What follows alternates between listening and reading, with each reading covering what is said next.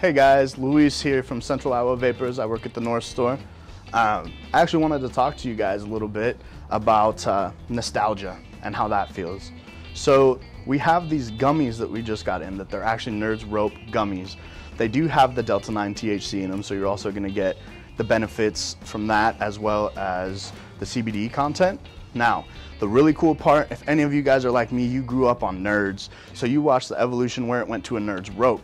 Now, sincerely, when I say these taste exactly like a Nerds Rope, 100%. The other cool thing, Nerds Rope generally only came in one flavor. Nah, my guy, we got four of them here. So we got the watermelon, the blue raspberry, the grape galaxy, and the stellar strawberry. For me, it's always about the blue raspberry.